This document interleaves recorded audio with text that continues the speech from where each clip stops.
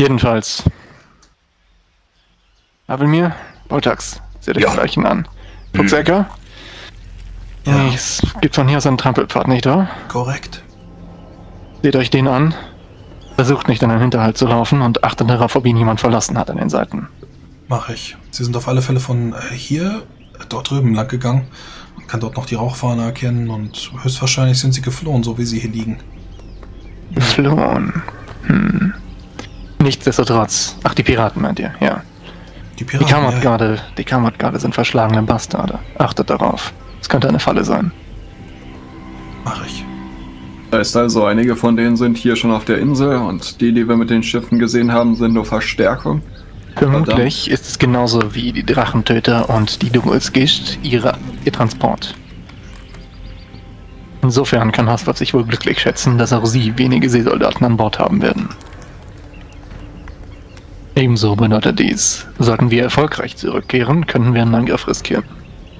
Gut, aber wir sollten uns jetzt nicht über Wenn und Abers auseinandersetzen, sondern Du sollst dir die Leiche ansehen. Was kannst Äh. du mir sagen? ja.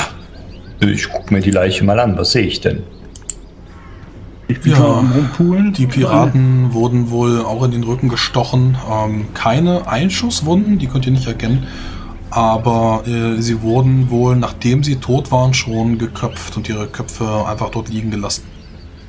Das waren keine Maraskaner, die das getan haben. Das sind Schwerter, keine Nachtwinde. Ein Nachtwind ist ein Schwert, aber mir. Nun ja, ist eine andere Art von Schwert, nicht wahr? Der Unterschied ist akademisch. Seht hier diese Klingenführung. Ja, marschieren wir jetzt weiter oder? Wir warten auf den Kundschafter. Ja. Ist es nicht interessant, dass es keine Nachtwinde waren? Gut. Naja, vielleicht waren es auch die Prioten. Nun, die hätten ihnen aber vermutlich nicht die Köpfe abgeschlagen. Mittlerweile, Ja, was steht mittlerweile auf traue ich ihnen Piraterei? alles zu.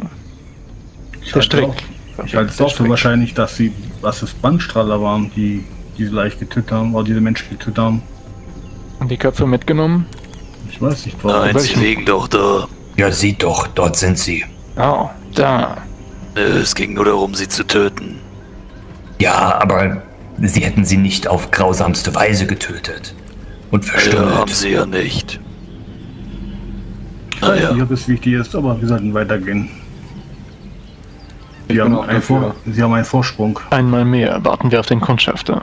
Ich bin äh, auch dafür, dass wir nicht auf den Kundschafter warten, sondern trotzdem vorangehen. Wir haben, wir sind um einiges langsamer als Sie. Sie sind hier flink unterwegs. Wenn Nun, irgendwas ist, können Sie uns erreichen. aber Jalan hat doch Erfahrung mit Maraskan, nicht wahr? Wenn er es sagt und es äh, ist ja gewissermaßen seine eine größere Bestrebung, dieses äh, Schwert zu finden. Und wenn er für warten ist, dann sollten wir warten. Wir können die Sache richtig machen oder wir können sie schnell machen. Der Sonnenmarschall gesellt sich zu euch und ihr könnt äh, sehen, wie er wohl ebenso abkniet, die Leichen untersucht. Hm. Ich weiß, dass es hier irgendwo Grabhügel geben muss. Sicherlich im Süden der Insel, wo wir angelandet sind. Meint ihr, dass diese Grabhügel für den ersten Sonnenmarschall benutzt worden sind? Sollte sich hier bereits ein Grab befunden haben oder man eins angelegt haben, wäre dies sicherlich ein geeigneter Ort, um die unliebsamen Reliquien verschwinden zu lassen. Das wäre zumindest ein guter Ansatzpunkt für unsere erste Untersuchung. Ja, Ich habe sie selbst nie gesucht. Oder hm, ich habe nur von Berichten gehört, dass es hier wohl solche Anlagen gibt. Werden diese Grabhügel nicht instand gehalten?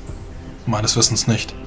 Chandraskan ist war einmal eine Kolonie der, der Mittelreicher zu Retos-Zeiten, aber wurde schnell wieder aufgegeben, nachdem Tutsak befreit wurde. Und ob die Priesterkaiser oder ihre Nachkommen aus Chilaskan hier für Ordnung gesorgt haben, seht euch die Insel doch an. Zivilisation kann man hier nicht erkennen. Sieht Das eher aus, als würde man hier Dinge ablegen, die man für immer vergessen will. Exakt das. ja, Die wir dürfen aber auch auch nicht die Männer hinter uns vergessen. Wenn wir jedes Mal warten, bis der Kundschafter zurück ist, das werden die nicht tun. Sie bekommen Verstärkung. Verstärkung, die Zeit rennt. Ihr habt recht. Hm. Ja, und die Nun werden gut. uns finden, wenn wir mit 50 Mann durch den Dschungel marschieren. Vermutlich sind sie schon an Land. Aber nun gut, der Weg ist ja immerhin ersichtlich. Haltet die Augen offen.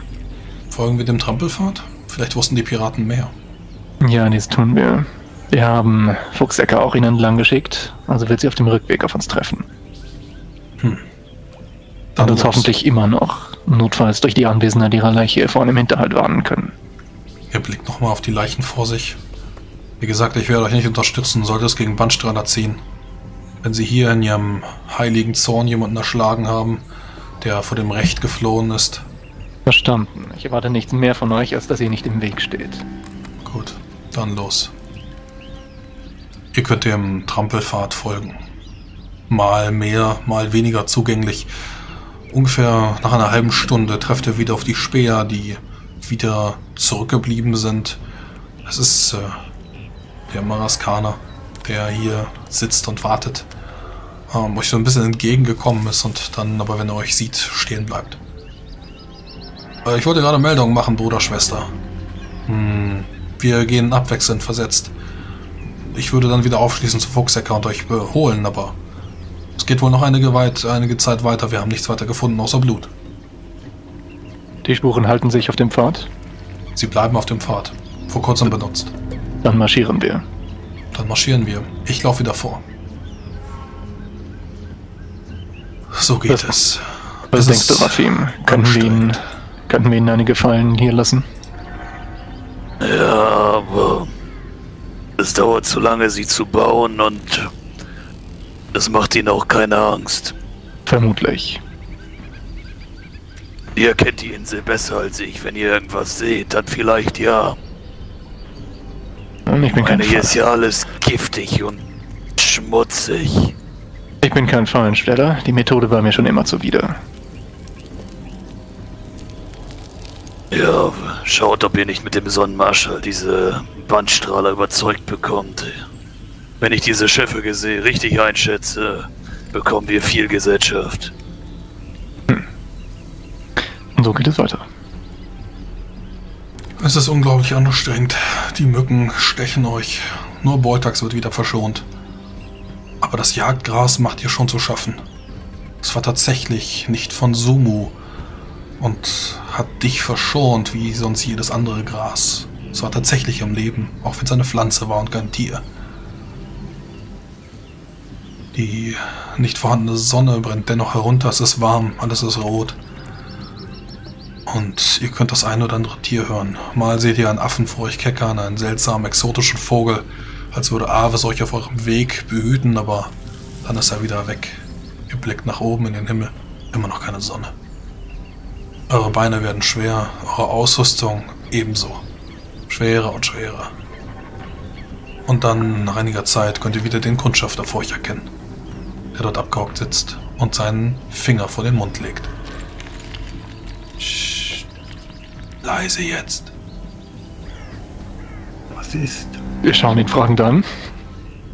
Wir haben, die Ta wir haben den Tempel gefunden. Dort ist etwas im Hügel. Mindestens zehn Bandstrahler, die dort auf der Tempelruine stehen.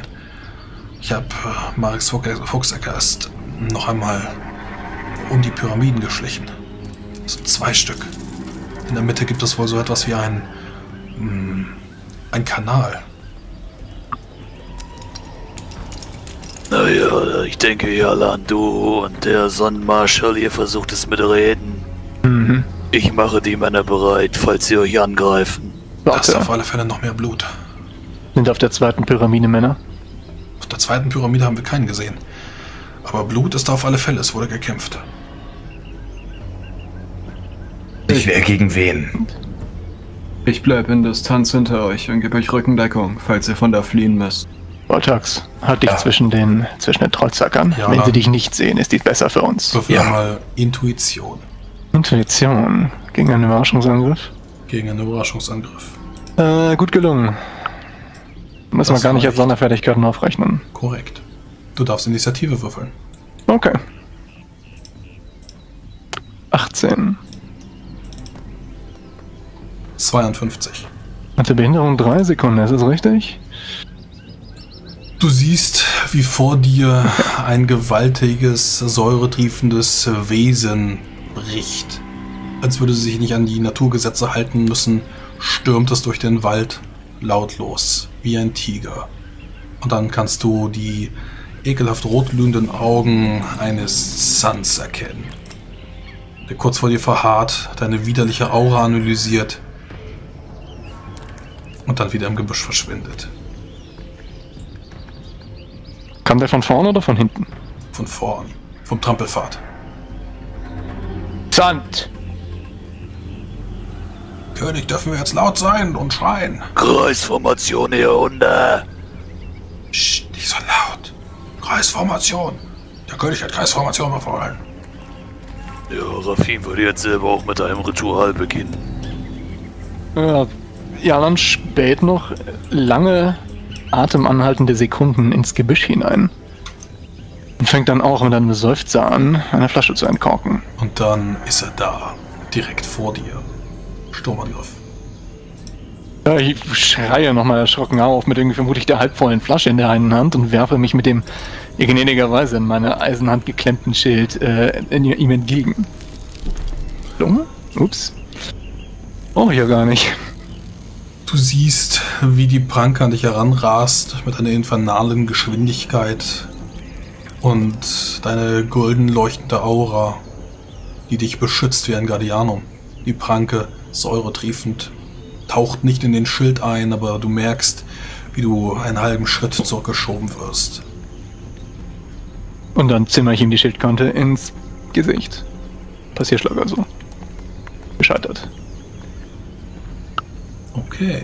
Ähm, mein Sturmangriff ist nicht gelungen, dementsprechend gäbe es jetzt eine äh, Erleichterung für dich. Nee, es gab aber einen Nee, er Passierschlag. die- Genau. Es ist der Passierschlag, der Genau. steht mir frei, den habe ich nicht geschafft, also geht's weiter. Gut, Warum dann nicht? Erleichtert um 8. Warum? Ja, klar, aber auch erschwert um Aufmerksamkeit und Dingens.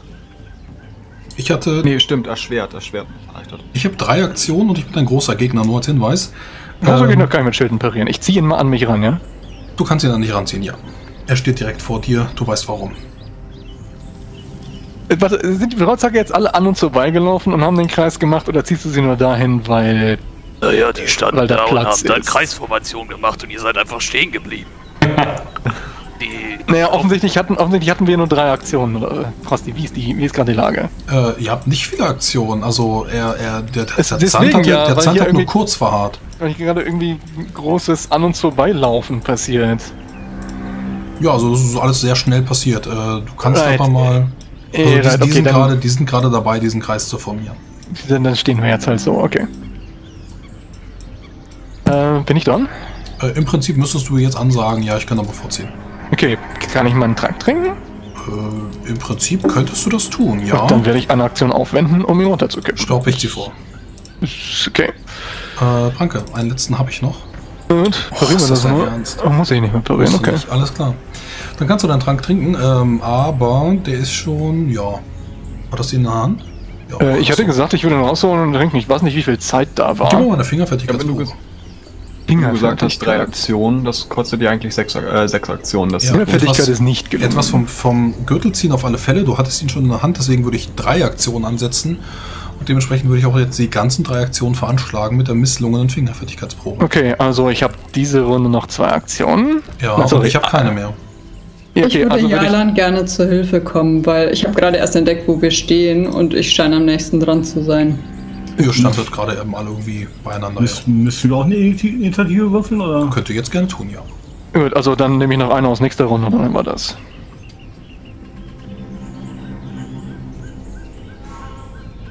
Okay, äh, wo ist das Brett? Ah, ich ja, hab das. Okay, dann der nächste bitte. Du hast beides mal gezogen, ne? Ja. Gut, alles klar. Dann ist die Kampfrunde um, der Überraschungsangriff mit dir und dem Zand und wir gehen in die erste richtige Kampfrunde. Mm, du könntest angreifen. Warte, ich fange Ähm. von unten an, Boltax. Äh, Ich orientiere mich. Orientierst dich, dann die 17, Raffi. Äh, ich führe gerade eine Liturgie aus. Alles klar. Dann äh, die nächste, Diamantes. Äh, schnell ziehen, äh, beide Dolche. Und da äh, reicht dann zwei Aktionen und ich äh, will den. Äh, wie heißt das? Ein hoher Tritt? Nein, äh, wie heißt der Angriff, den ich machen möchte? Ja, ich laufe auf ihn zu und trete ihn. Alles Das klar. ist ein äh, Raufenangriff, Schwert um 8. Bogentritt, danke, ist mir gerade nicht eingefallen. Ich sehe gerade, dass Jala noch auf der 18 wäre. Die könnte dann auch gleich noch handeln. Du hast mich überspringen durch 19. Ja, weil du nicht mit Initiative gewürfelt hattest. Gut, dann ähm, mache ich weiter mit Jalan 18. Ja, äh, in einer Aktion trinke ich einen Trank. Und werde dann die anderen beiden, naja, die eine Schildparaden, zwei Aktionen fürs Parieren aufheben. Hm, okay, dann aber mir. Ja, ich denke, ich habe mein Säbel noch nicht gezogen. Ich will mein Säbel ziehen und auf den Zahn zulaufen. Okay, dann in Aktion ähm, Schwert ziehen und Aktion Position. Dann, ähm. Diamantes. Äh, ich habe geworfen, ist äh, mir nicht gelungen, der Angriff. Äh, deswegen habe ich eine Gewandtheit geworfen, um auf dem Bein zu bleiben. Aber damit sind meine zwei Aktionen für diese Kampfrunde weg. Ja, darf ich dich passierbeißen? Äh, nicht beim Sturmtritt. Sicher? Äh, ziemlich sicher, ja. Ist das nicht sowas wie ein äh, Sturmangriff? Nur fürs Der ist Raufen? sowas wie ein Sturmangriff, aber da steht die extra Regel mit dem Passierschlag nicht bei. Okay, aber weißt du was, ich beiß dich trotzdem. Ich habe drei Aktionen. Er kann ja parieren und dann äh, Waffenschaden machen. Ja, das sagst du, wenn ich noch Aktionen hätte. Äh, ja, genau, du hast eben keine mehr, deswegen habe ich gesagt, ich beiß dich, benutze einfach eine Aktion. Ähm, ja, dann nach Diamantes, du bist fertig, reiß ich äh, zu Lamin. Ich greife zweimal an und hebe eine Parade auf. Dann ziehe ich erstmal vor und pranke zweimal nach Jalan. Ja, muss, den werde ich zweimal parieren, wenn es denn Not tut. Zwei. Ja, ich weiß nicht, was heute los ist. Ist nur ein Sand. Okay, eine Parade muss ich trotzdem schaffen. Ähm, ach ja, das geht auf die 20. Toll. Ich kann den Meisterparade ansagen kann, damn. Egal. Nein, Gut. kannst du nicht, weil du, äh, also, ach so, doch, wenn du, Hast du- äh, nur eine Aktion Hast du einen Waffenmeister fürs Schild? Nein. Deswegen, deswegen hat jemand das Recht, ich dürfte nicht auf beiden eine Meisterparade ansagen. Aber da ich ja wusste, dass ich nur eine brauche. Hm, okay. Dann darf Tsunami. Zweimal attackieren. Gut, ähm, achter Wuchtschlag. Mhm.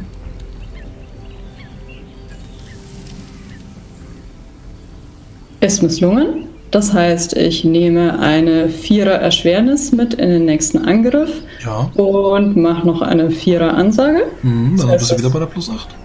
Genau. Das ist gelungen. Wuchtschlag 4.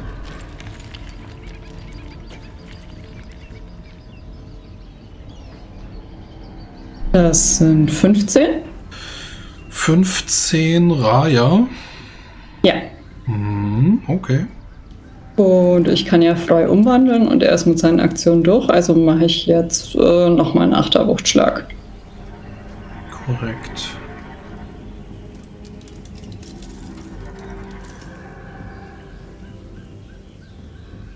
Sind 12 TP. Und Nee, das sind 18. Ja, ja, ich hatte, ich hatte gerade die 15, hatte Okay. ich eben gerade umgerechnet mit dem Musterschutz. Einmal 18. 18, ne? Minus 3 sind 15. Genau, der letzte Angriff. Alles klar. Dann, ähm, nächste Aktion. Der Zahn zieht vor und er läuft weg. Ich glaube, er kriegt nicht mal einen Passierschlag, da er rast. Richtig, er bekommt keinen Passierschlag. Dann ist alles wieder still. Das Einzige, was passiert ist, die Vögel sind leise und die Affen keckern nicht mehr. Verdammt, was war das für ein Ding? Sand. Okay, wie gehen wir jetzt vor? Aufstellung in Zweierreihe. Immer einer links, einer rechts. Haltet die Augen offen und die Schilde oben. Der Und dann vorwärts. könnt ihr sehen, wie Rafim seine Liturgie abgeschlossen hat. Was hast du gewirkt? Ja, Rafim hätte sich in die Mitte seiner Trollzacker gestellt. Ich selber immer wieder über den Arm geschnitten und auch dem ein oder anderen Trollzacker den Dolch über den Rücken gezogen. Ko, heute ist wieder deine Zeit. Die Zeit für dein Fell. Lass sie es sehen, lass sie es fürchten. Und lass sie lernen, dass wir nicht knien. Ich wirke das schwarze Fell durchs rote Blut. Und trinke danach mein äh, Unverwundbarkeitselixier hinterher. Das Ich mache ich auch. Ja, ich auch und ich glaube, ich trinke den Heiltrank, weil ich habe am meisten Schaden durch das Jagdgras gekriegt. Ja, wird wohl Zeit. Äh, Unverwundbarkeit Elixier wird bei mir ebenfalls runtergekippt.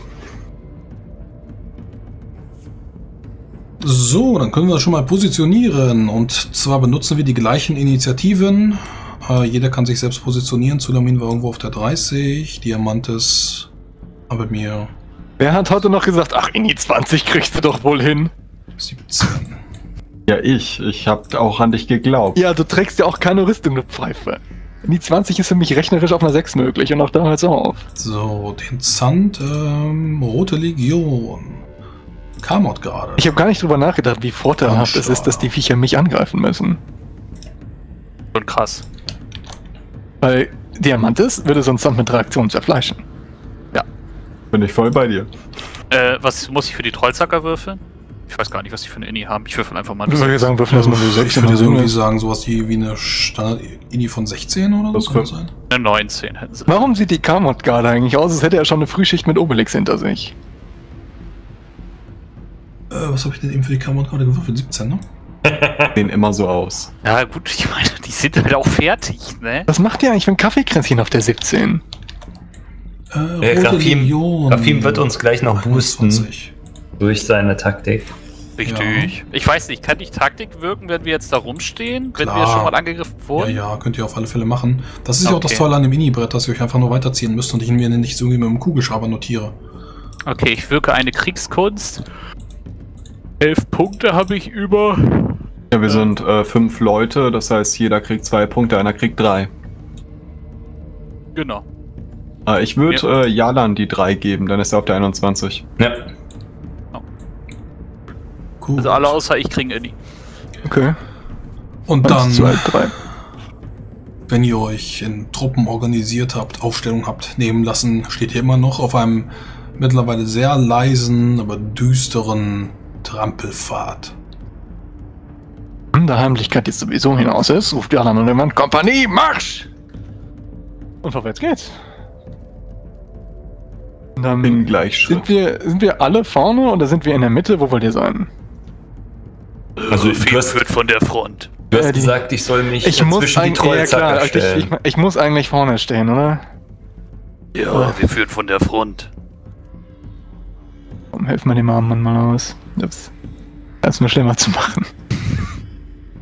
Ja, ich, ich, ich stelle mich dann hier auch an die Flanke. Linke Seite, äh, Flanke äh, Zulamin, rechte Flanke Diamantes. Voltax in der Mitte Mhm. und unsere ähm, beiden Anführer nach vorne. Und Track, vergiss mir Track nicht. Wo ist eigentlich Goner? Ach, da vorne. Gonner, Nee, wo ist ist, Gonner ist auf dem Schiff. Der passt auf Nee. meine Sachen auf. Den dürfen wir Hast, nicht verlieren. hast du ernsthaft versucht, Goners Leben zu retten, indem, er, indem du ihn auf dem Schiff lässt? Mag Gonner. Fun Fact: Gonach ist der erste Trollzacker von den Kurga, den ihr getroffen habt. Äh, Auch vielleicht der Rank- letzte. Rangpflanzen ragen über den gepflasterten Weg, der sich vor euch aufbaut. Immer wieder müsst ihr aufpassen, nicht zu stürzen, wenn sie sich wie Fallstricke an eurem Fuß verhaken. Das Wasser vor euch in den Becken und in den Kanälen ist faul und ein Odeur, der sich davon nach oben ergießt, euch flutet. Eindrücke, Sinneseindrücke und das Blut, was ihr sehen könnt. Die Leichen seht ihr nicht, aber so viel Blut. Der Fluss in den Kanälen steht still, nur hier und da eine leichte Strömung aus unbekannten Tiefen. Kleiner Hügel, der sich im Norden von euch auftut. Und im Näherkommen überweist er sich als überwucherte Ruine. Ein Dutzend eingestürzter, uralter Bauten, allesamt überwuchert, aber die beiden höchsten im Norden und im Westen von euch. Steile Treppen, die zig Meter nach oben führen, fast in den Himmel, in den sonnenlosen Himmel. Einige Terrassen, die an den Seiten der Pyramiden wegführen. Und ihr könnt auf der größeren Bandstrahler erkennen, die dort mit Schwert und Schild postiert haben. Sie starren euch finster entgegen, als ihr aus dem Urwald, aus dem Dschungel herantretet. Oh, Streiter Prius! Fürchtet nicht! Rettung ist nah! Ihr seid ebenso des Todes. Dies ist Gebiet des Wahrers der Ordnung. Ordo Arania. Verschwindet. Benukurian von Zorgan! Ebenso Ordo Arania! Dann nehmt die Befehle des Winterkalt an. Protégé des Wahrers der Ordnung. Die da lauten? Verteidigen des Tempels gegen all die Gottlosen. Und ihr führt Trollzacker bei euch. Gottlos. Marshall, möchte die ein, zwei Worte an Sie richten? Warum sind sie dort in Aufstellung? Und wo kommt das ganze Blut her? Nun, Angesichts des Zandthemen werden Sie schon einen Angriff bewältigt haben. Von was? Von Piraten? Das glaubt ihr doch wohl selbst nicht. Naja, nachdem wir die toten Piraten gefunden haben, ähm, habe ich so eine Vermutung, wo das Blut herkommt. Und wenn Sie es waren, die diese Piraten auf diese bestialische Weise getötet haben, dann muss ich doch sehr an der Sache mit der Ordnung zweifeln. Ich bin Praelwin von Orkenfeld, Sonnenmarschall. Und ihr seid Bandstrahler, mir nicht verpflichtet. Doch gebietet meinen Befehl. Tretet beiseite und lasst uns in die Pyramide vortreten, auf das wir ihre Geheimnisse entschlüsseln. Ganz richtig, Marschall. Ihr seid der Sonnenlegion zugehörig, nicht jedoch dem Bandstrahl. Verschwindet ebenso. Der Ordo Arania gebietet hier. Nicht ihr. Verzeiht uns dennoch. Unsere Befehle binden uns. Die Kamot-Garde naht. Ihr könnt an unserer Seite leben oder allein sterben. Die sind längst hier, Bürschchen. Hm?